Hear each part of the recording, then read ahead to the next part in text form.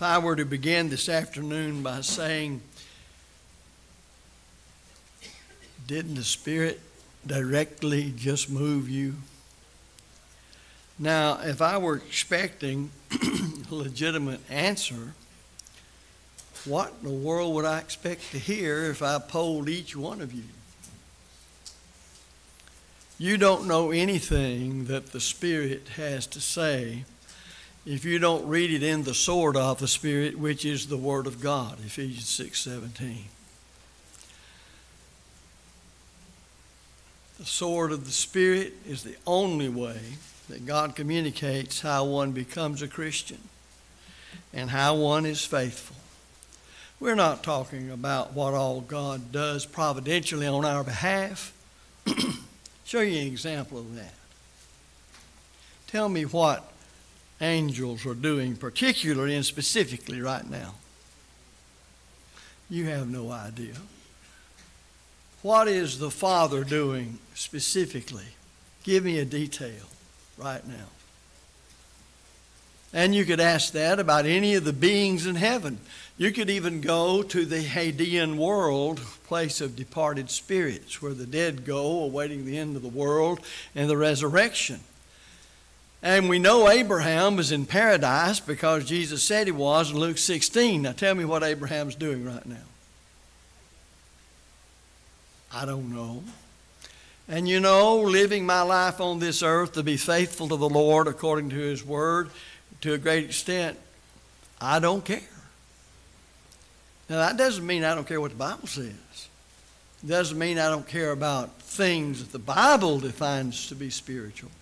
It just means, first of all, my finite human mind at this time cannot form a picture of eternal things and things that are not material and time bound, except by the way the Word of God, the sword of the Spirit, reveals them to me and the ideas God has put into those words. And I promise you, we can't understand what it's like to exist outside this body, in another place, in another state of existence. But we know the Bible tells us that such is the case. So, what should concern us? Our concern should be to do what the Bible says the way the Bible says it for the reason, or maybe there's more than one reason the Bible says it. If He says when we ought to do it, we ought to be concerned about that. Because that's the way that you are spiritual on this earth in this fleshly body in time and space, is to do spiritual things. What spiritual things? What the Word of God says is spiritual. So when we engage in singing in the worship of the saints, then that's spiritual. When we worship God, as we sang in that song, in spirit and in truth, in psalms and hymns and spiritual songs when it comes to singing. When on the first day of the week in the worship assembly, we observe the Lord's Supper, thinking about the bread, praying before we partake of it, what it represents, and saying concerning the fruit of the vine. But there's a lot of folks that equate whatever goes bump in the middle of the night to be something spiritual, either coming from some loose demon or an angel that stumped his toe somewhere in the whatever. And you say, You're making light of that. I not make light of the people that believe it. I'm just simply saying, if you're going to follow that direction, there's no telling where you're liable to go because it's not anchored in the Word of God. Faith comes by hearing, and hearing by what? the Word of God. But the Word of God is the sword of the Spirit, the instrument the Spirit uses. And it's the only way we can understand God now. And it's the only way we can understand what being a Christian is and how to become one and how to live a righteous life. Now, this morning, in talking about the Holy Spirit, proving Christ to be the Son of God, we noticed that it was done by miracles, signs, and wonders. We notice that the apostles of Christ, those he chose to reveal the New Testament through, that they proved that their message was from heaven and not from men by the miracles, signs, and wonders that they received in the baptismal measure of the Spirit that you can read of in your own Bible in Acts chapter 2. Now, concerning that, I would like to continue this afternoon. Again, I say that in Acts 2 1 through 4, we read of the coming of the Holy Spirit upon the apostles of Jesus Christ. They're there according to the directions of Christ to tarry ye in the city until ye be endued with power from on high. So that's what they did. It was promised then that the Holy Spirit would guide them in their preaching. They're fallible human beings. They can't depend solely upon their human powers. So you will see that as you read Acts 2 on the day the church was established and the gospel is first preached in its fullness, that they speak as the Holy Spirit gave them utterance. They had been told that in John 14, 15, and 16, that it would be the Holy Spirit who would take Jesus' place once he returned to heaven, was sitting at the right hand of God ruling, and so the Holy Spirit came upon them. The Lord also promised that signs would accompany them. We read about that, Mark 16, 15 through 20. And in Acts 2 and verse 43, the day the church started, we read this And many wonders and signs were done through the apostles. Not only was it a signal from heaven without man being involved in these miracles, that said they were speaking the will of God, because remember, there came a sound down from heaven as of a rushing mighty wind. But there wasn't any wind. And cloven tongues sat upon each of them, the them being the apostles. And that's when they began to speak. One of the signs was the speaking with what Mark 16, 17 calls new tongues. On this day, the first Pentecost following the resurrection of Jesus Christ, the apostles of Christ spoke with, Acts 2, verse 4, other tongues. Now, there were Jews present, according to the scriptures, from every nation under heaven, Acts 2 and 5. And every man heard them speaking in his own language. Now, I want you to notice as you go through this that language and tongues are used interchangeably to mean the same thing. So you have a divine definition here. To speak in a tongue is to speak in a language. And you can read that in chapter 2, verse 6. What was the impact upon the audience that heard them speak? Well, the scripture says they asked themselves, And how hear we every man in his own language wherein we were born. Verse 8. They also said that we hear them speaking in our tongues the mighty works of God.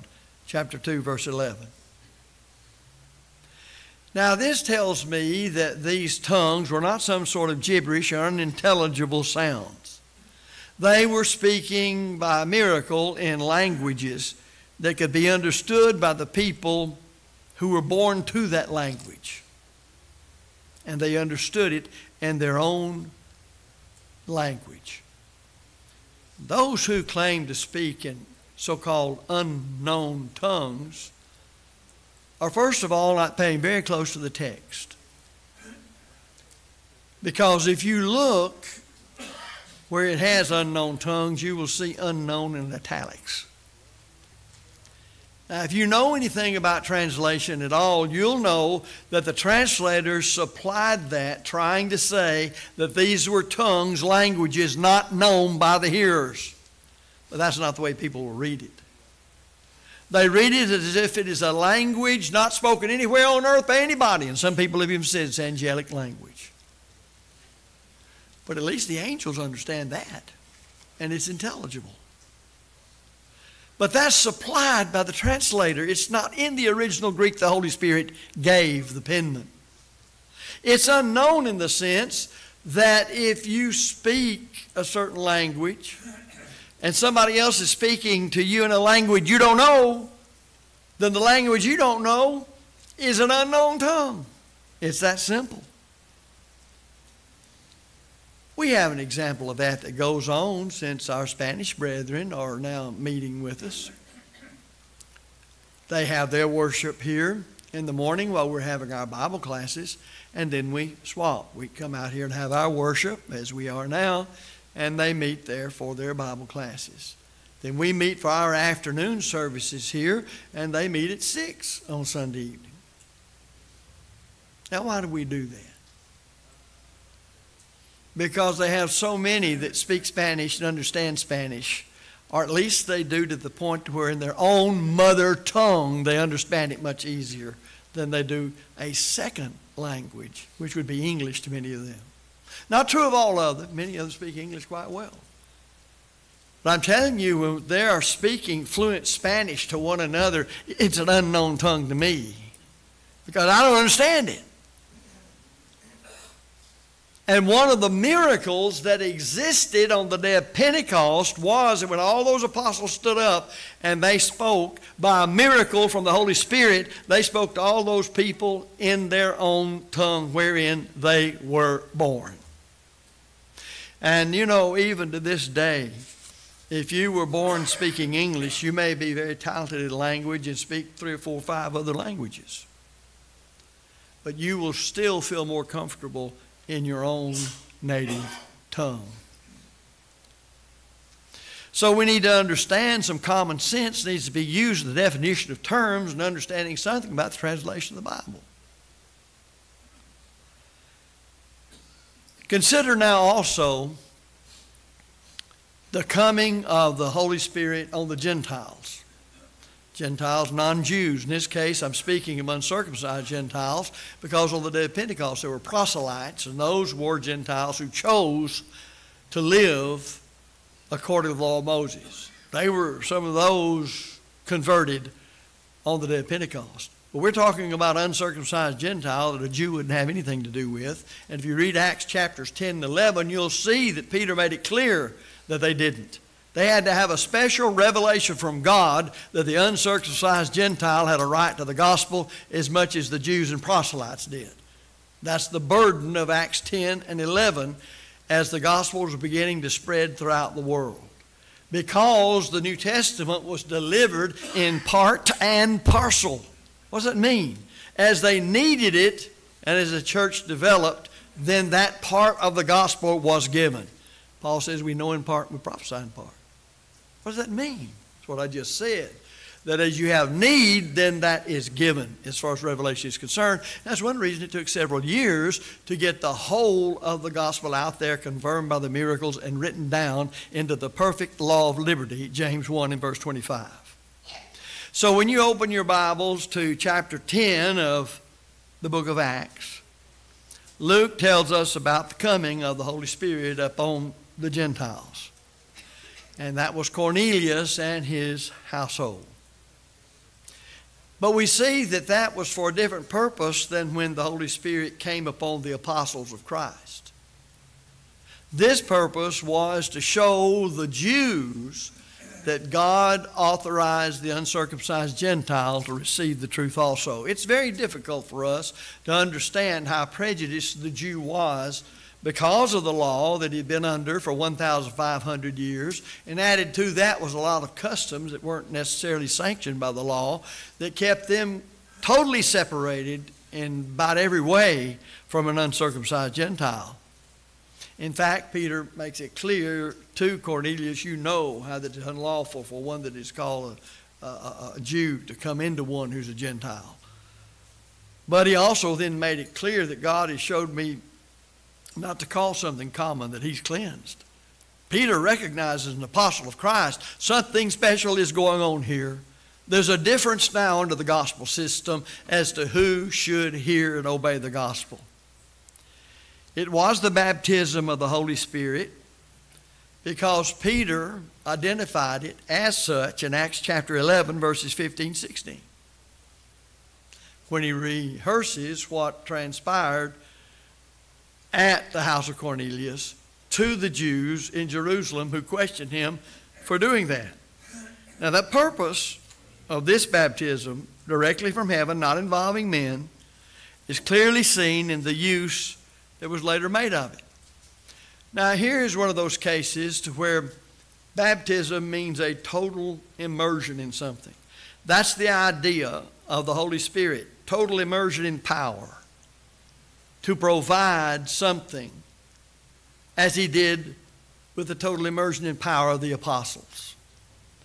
Peter related at Jerusalem the incident to remove any doubts which the Jews had as to, as I said earlier, the propriety of baptizing Gentiles for the remission of sins. Acts 11, verses 1 through 18. And the best I can say is read Acts 10 and then read very closely Peter's rehearsal of those events in uh, Acts chapter 11. Now, notice something about a design. In this case, there was design to the Holy Spirit doing this with Cornelius and his household. You must understand that a design is external to themselves. That is, it is showing something to somebody else. In this case, God coming directly down from heaven in the form of the Holy Spirit and engulfing the Gentiles with power, and they proved it because they spake in other languages that no man knew, but they could only speak in them because of a miracle. And Peter could only remember another time like this happening. And when he reiterated that or reminded them or recounted the event to the people in Jerusalem, he says, as on us at the beginning. The beginning of what? The beginning of the Lord's church on the day of Pentecost, Acts 2. It's exactly what went on. Now, it's important to understand that once a thing is demonstrated, it need not be demonstrated time and time and time and time again. It's done. And once God had showed everybody that the uncircumcised Gentile had the right to have the gospel preached to him and obey the gospel just as much as a Jew did, it was done. Now, this caused a problem in the church because there were those Jews who obeyed the gospel, and we learn from Acts 15 they had been of the sect of the Pharisees that still wanted to say, Now, you uncircumcised Gentiles must believe in Christ, repent of your sins, confess your faith in Him, be baptized into Christ for the remission of sins, and then be circumcised, keep the law. And Paul wrote the book of Galatians severely denouncing that view and when you read Acts 15, it deals with it too. They just could not turn loose of the law. And they were going to make the Gentile converts basically second class citizens. But that was not the case. The baptism in the Spirit didn't save Cornelius and his friends. There are those who have taught that it did. It was not for that purpose. It was for the purpose of showing those Jews that the Gentile has a right to the gospel, has a right to become a Christian. The angel had previously told Cornelius that Peter, listen, shall speak unto thee words whereby thou shalt be saved, thou and all thy house. Acts 11, verses 11 and 14, or rather 13 14. Now, here's the point. Do you see the difference in the why and the purpose and the reason for Holy Spirit baptism at the house of Cornelius? But they all had to believe the same gospel. Remember, it's God's power to save, Romans 1.16. They all had to believe the same gospel. That's the same gospel to be preached to every creature, Mark 16.15. So it's uh, obvious then that once you've established that the Gentile has a right to the gospel, then that gospel is preached. Now, how is it preached? It's preached in words, the seed of the kingdom, which is the word of God, Luke 8 11. The sword of the Spirit, which is the word of God, Ephesians 6 17. No wonder then Paul said, Preach the word. Be instant in season, out of season. Reprove, rebuke, and exhort with all long suffering and doctrine. Thus, the will of heaven is in the ideas of heaven, which ideas are in the words of heaven in the perfect law of liberty. James 1, verse 25. The seed of the kingdom, which is the Word of God. So they were saved by words when they heard and understood. For faith comes by hearing, and hearing by the Word of God. Romans 10, 17. And in hearing the gospel, in those words, they understood the plan of salvation. Having believed, they were taught to repent of their sins, confess their faith in Christ, and be immersed in water by the authority of Christ for the remission of sins. Now, that has to do with the coming of the Holy Spirit and the miracles that took place with Cornelius and his household, the purpose and design of it. It happened only one time. There's another important point. Keep in mind, uh, this is one baptism, and Acts 2 is another baptism. But when you get to Ephesians 4, that was written in about AD 62, the Holy Spirit Himself said, one baptism. Now, how do I know out of the baptisms that are mentioned in the New Testament which one is the one baptism of Ephesians 4? Well, there is a baptism to be preached until the end of the world. Now, what is it? It's the one you hear and believe, and you're baptized for the remission of sins. That's what they were commissioned to do. Now, if it's to be preached to the end of the world, and there's only one baptism in AD 62, and that baptism involved being buried in water by the authority of Christ to obtain the remission of sins, and what baptism do you think it is? It has to be the baptism of the Great Commission, not the baptism that came upon the apostles of the Holy Spirit in Acts 2, nor the baptism of suffering of Jesus Christ, and it's called that because he was engulfed in, in suffering or the baptism that had to do with Cornelius. And certainly it wasn't the baptism that was administered by John the Baptist to get the people prepared for the Christ. I don't care how many baptisms you've got before, before AD 62 in Ephesians 4, there's only one by then. In right division of the word, you may want to know the difference in those baptisms. That's good. But when you get to Ephesians uh, 62, or written in 62, in Ephesians 4, there's only one. And there has to be a way for us to figure it out. And it's the one to be preached to the end of the world because that one is the baptism for unto in order to give an end the remission or forgiveness of sins. It's not any of the others. And that must be understood. In fact, at the household of Cornelius, Peter would say, after having seen the miraculous events that said the Gentile had a right to the tree, or rather to forgiveness of sins, and thus the tree of life eventually if they're faithful unto death.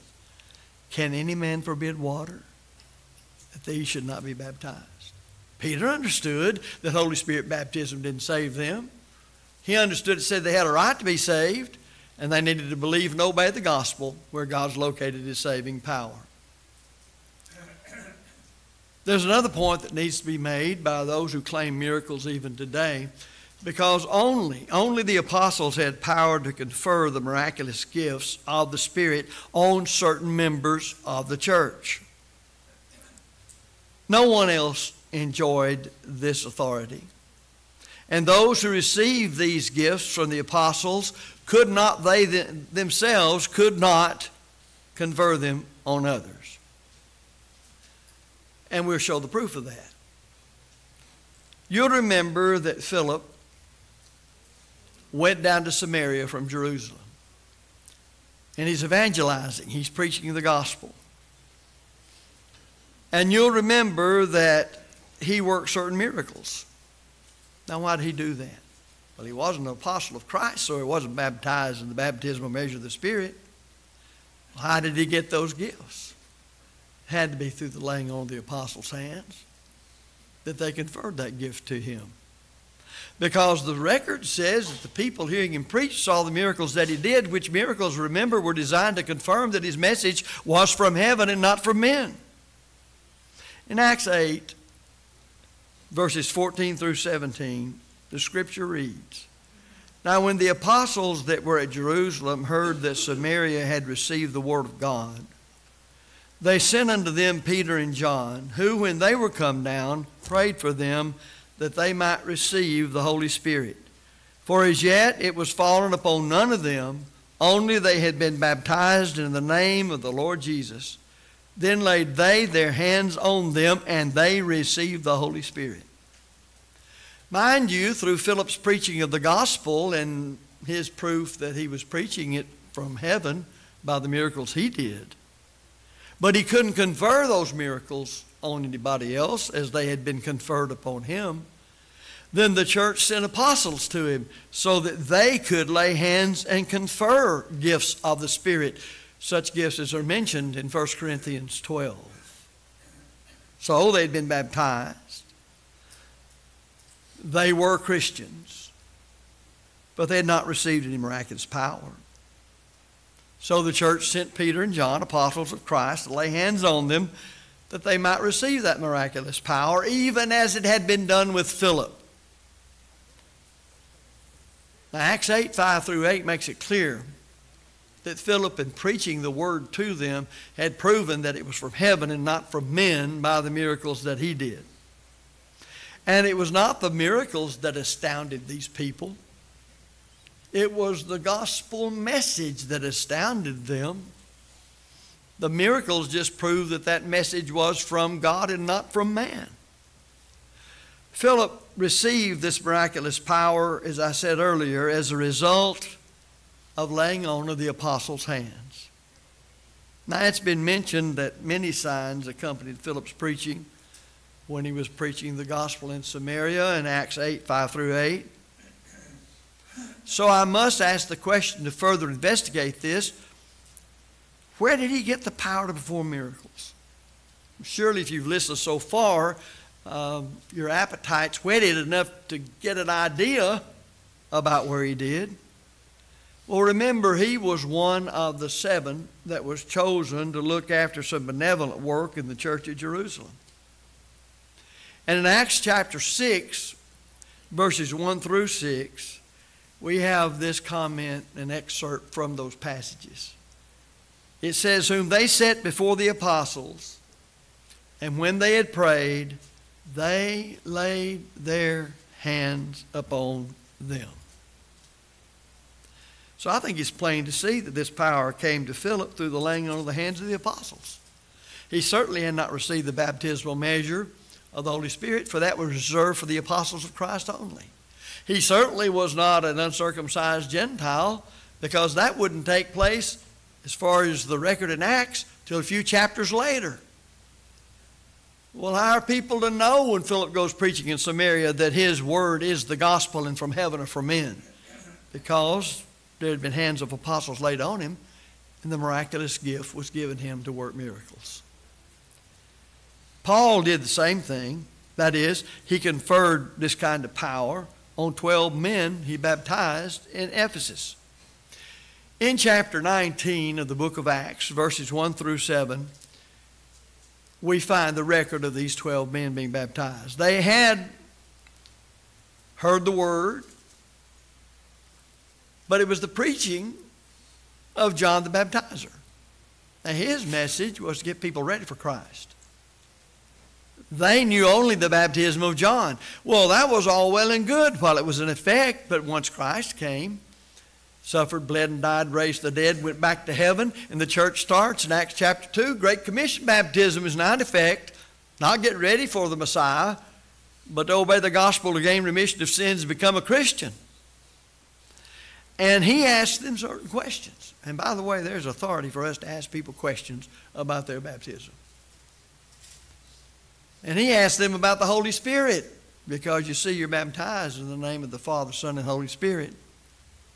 And they said, We've not so much as heard whether there be a Holy Spirit or not. Well, how could you have obeyed the gospel and not so much as heard whether the Holy Spirit?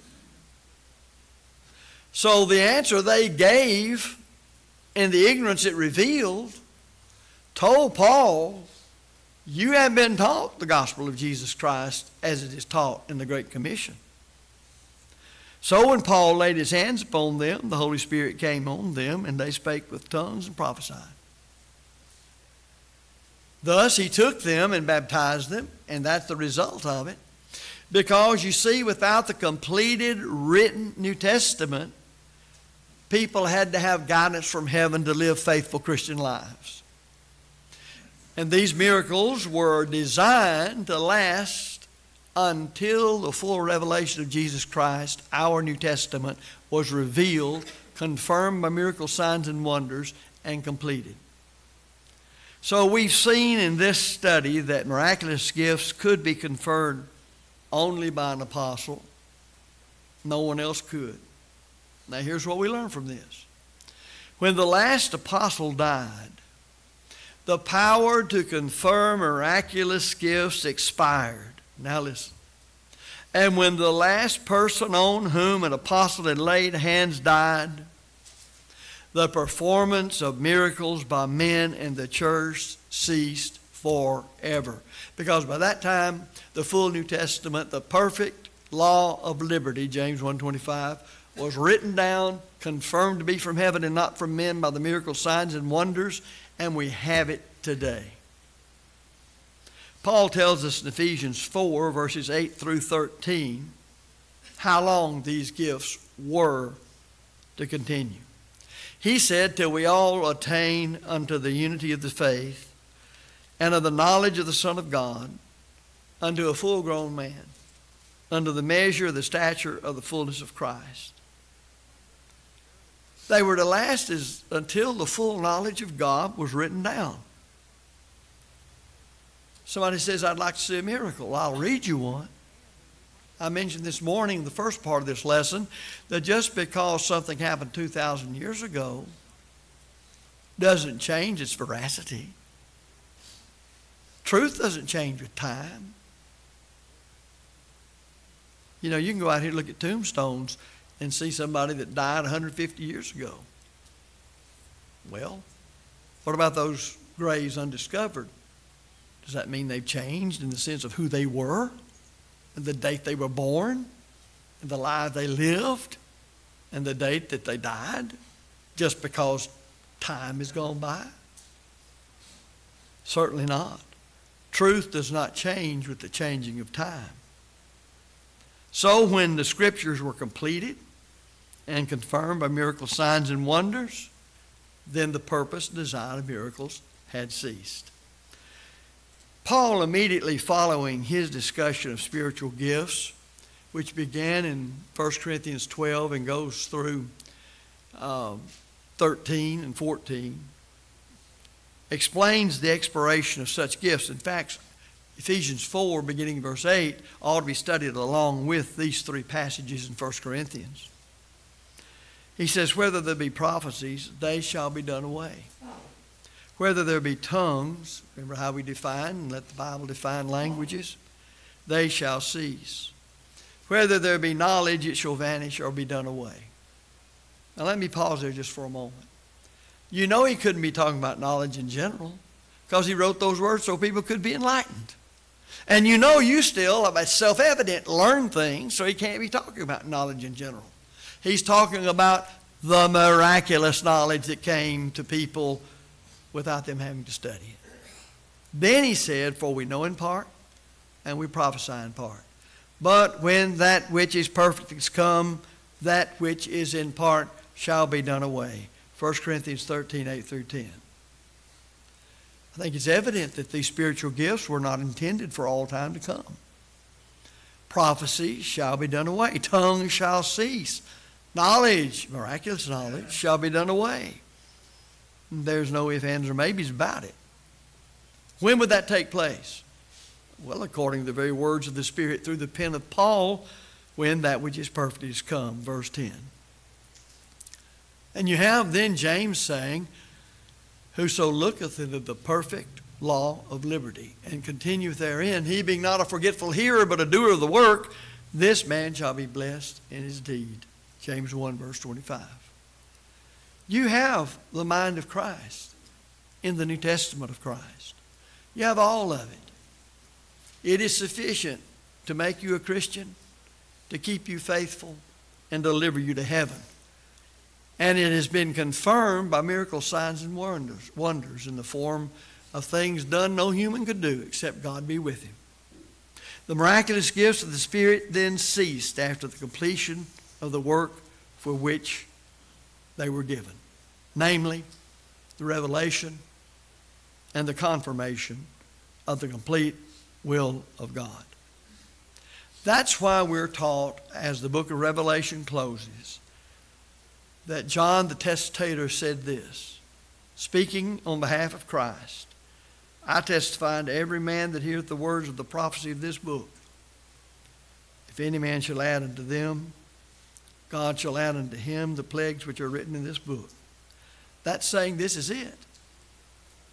You look at Paul's writing in Galatians 1, He makes it clear there's one single solitary gospel, and I preached it to you people and proved it was from heaven and not from men by the miracle signs and wonders I did.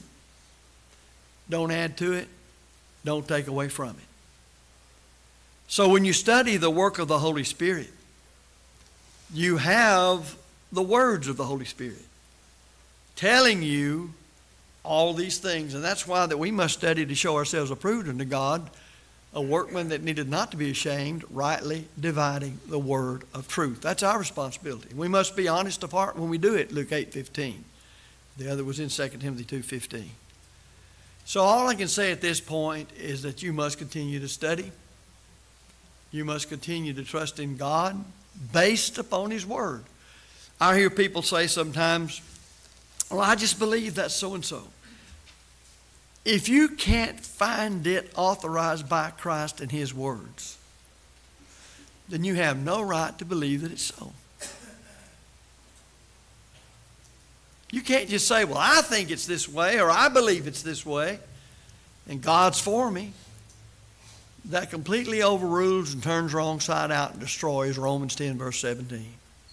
So then faith comes by hearing, and hearing by the Word of God and 2 Corinthians 5 7. We walk by faith and not by sight.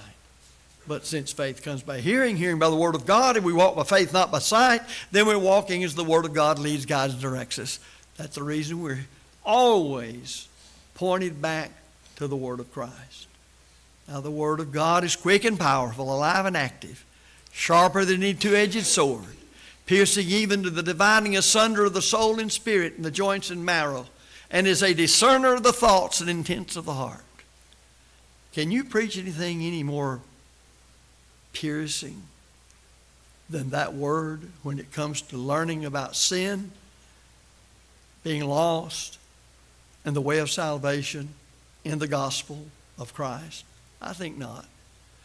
It's the way the Spirit converts us to Christ. It's the instrument the Spirit uses to convert us to Jesus Christ. That's what's meant in Ephesians 6 17 when it says the sword of the Spirit. The instrument the Spirit uses to convict men of sin and to convert them to sight, to Christ. Because it's the Holy Spirit that revealed the Word of God to all men. And that's what's meant when it says all Scripture is given by inspiration of God.